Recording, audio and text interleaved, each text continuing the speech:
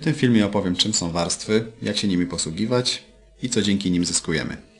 Na początek przypuśćmy jednak, że w Photoshopie nie możemy używać warstw. Spójrzmy z czym to się wiąże. Mam tu otwarty obrazek z orchideami, na którym będę chciał coś namalować. Wybieram narzędzie pędzel. Kolor mam ustawiony na niebieski. I w tym miejscu na przykład narysuję taki szlaczek. Oczywiście szlaczek ten stał się częścią naszego obrazka. Jeżeli w tym momencie chciałbym na przykład go przesunąć w inne miejsce albo troszkę zmodyfikować, to nie mogę tego zrobić w bezpośredni sposób. Jedyne co mogę w tym momencie zrobić jest wycofanie operacji poprzez wciśnięcie Ctrl Z i na przykład narysowanie tego szlaczka gdzieś niżej. Jak widać nie jest to idealna metoda, ponieważ wygląd tego szlaczka się zmienił. Nie jestem w stanie narysować drugi raz dokładnie takiego samego szlaczka. Byłoby bardzo dobrze, gdybym ten szlaczek mógł na przykład przesuwać.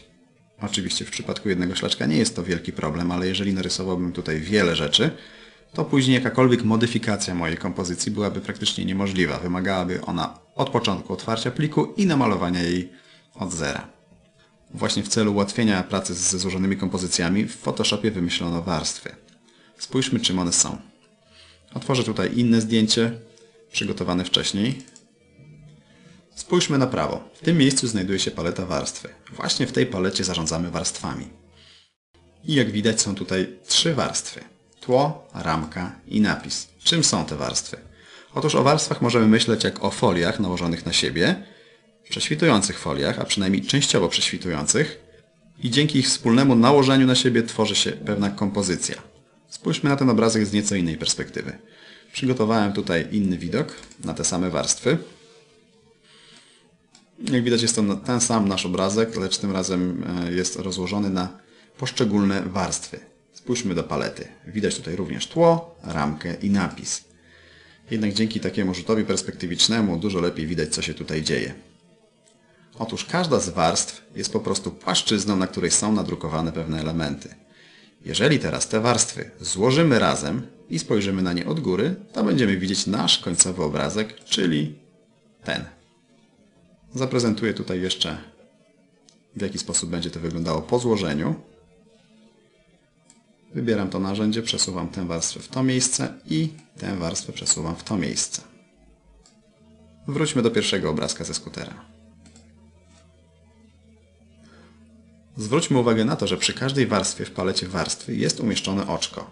Oczko to służy do włączania i wyłączania widoczności danej warstwy. Jeżeli w tym momencie na przykład kliknąłbym w to miejsce, to warstwa ta staje się niewidoczna. W tym momencie mamy kompozycję nieco inną, ponieważ widzimy jedynie tło i warstwę z napisem. Tę warstwę również mogę wyłączyć i pozostało mi samo tło, a mogę na przykład włączyć warstwę o nazwie ramka. Jak widać, dzięki prostemu włączaniu i wyłączaniu warstw możemy modyfikować wygląd naszej kompozycji. Oczywiście z warstwami możemy robić znacznie więcej. Możemy je obracać, modyfikować, transformować. O tym wszystkim powiemy w dalszej części kursu, a teraz przyjrzyjmy się również innym cechom warstw. Wyłączę teraz widoczność warstwy tło. Spójrzmy co widać. Warstwa ramka w środku wypełniona została szaro-białymi kwadracikami. Co to oznacza? Oznacza to tyle, że ta warstwa jest w tym miejscu przezroczysta. Czyli na naszej folii mielibyśmy nadrukowaną obwódkę, czarną obwódkę, w środku niezadrukowaną. Tak samo wygląda warstwa napis. Również jest ona zadrukowana tylko w pewnej części, natomiast cała reszta jest niezadrukowana, co jest symbolizowane w Photoshopie zawsze za pomocą takich kwadracików. Jeżeli wyłączę widoczność wszystkich warstw, to jest teraz po prostu obrazek całkowicie pusty, całkowicie przezroczysty. Powtórnie przywrócę widoczność wszystkich warstw. Najprościej jest to zrobić poprzez kliknięcie w tym miejscu i bez puszczania klawisza myszy przeciągnięcie po wszystkich kwadracikach, w których mają się pojawić oczka. Cały obrazek znowu jest widoczny.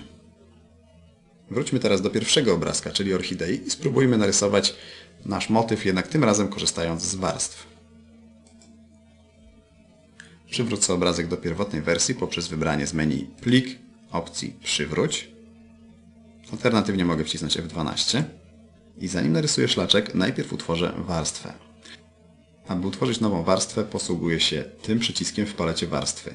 Oznacza on tworzenie nowej warstwy.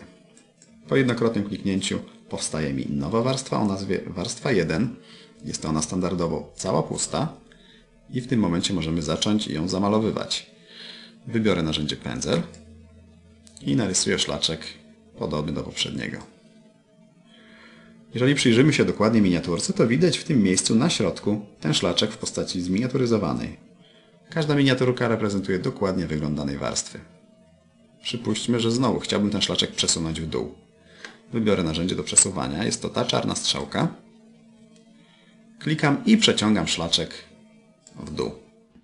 Dzięki temu, że nasz szlaczek jest narysowany na osobnej warstwie, czyli stanowi jakby osobną folię, możemy go swobodnie przesuwać i nakładać na inne warstwy.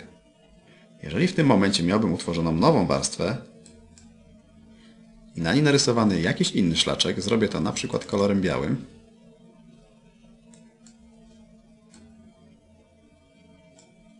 to również mamy tutaj zachowaną pełną elastyczność. Ten szlaczek również możemy przesuwać i co ciekawe, warstwy te możemy zmieniać miejscami. Zaraz zademonstruję jak to zrobić. Wybiorę ponownie narzędzie do poruszania warstwami. Przesunę teraz tę warstwę nad warstwę poprzednio narysowaną i jak widać biały szlaczek przykrywa mi szlaczek niebieski. Ale jeżeli teraz w palecie warstwy kliknę i przeciągnę tę warstwę w dół, to teraz warstwa z niebieskim szlaczkiem jest wyżej w palecie warstwy niż warstwa ze szlaczkiem białym. Oznacza to tyle, że właśnie ten szlaczek będzie widziany tak, jakby był na samej górze.